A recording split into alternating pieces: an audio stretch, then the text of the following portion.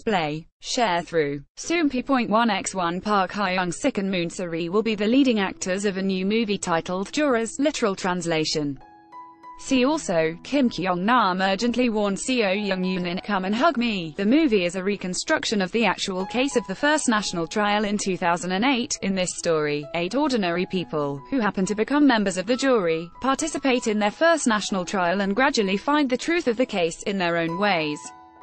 Soompi. Display, News. English English.300x250, BTF Soompi.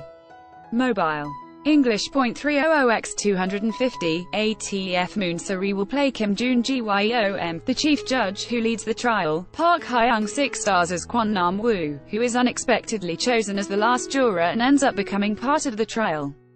Other actors are Bak Soo-jang, Kim Mi-kyung, Yoon Kyung-ho, Seo Jung-yeon, Jo Han-chul, and Jo Soo-hyang. Bak Soo-jang will play Yoon Ji-rim, a law student who joins the jury while Kim Mi-kyung will play the eldest of the jurors named Yang Chun-ok. Yoon Kyung-ho will play Jo Jin-sik, a man who works at a chauffeur service while Seo Jung-yeon will play housewife Byun Sang-mi, who has a daughter in middle school. Jo Han-chul will take the role of Choi Young-jae, the chief secretary of a huge corporate, and Jo Soo-hyang will play an unreasonable woman in her 20s named Oh Soo-young. On June 29, the cast met up for the script reading and perfectly immersed into their roles in a warm and bright atmosphere.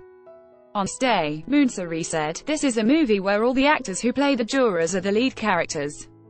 I hope we can put our hearts together and work well with each other. Park Hyung-sik commented, I always think the first step is important. I'm grateful I can be in a great story with great senior actors. As much as this is a new challenge for me, I'll do my best. This will be Park Hyung-sik's first appearance in a feature film. He showed his talent in acting in previous dramas, such as his latest drama, Suits, and popular romance comedy, Strong Woman Do Bong Soon. Sources 1, 2.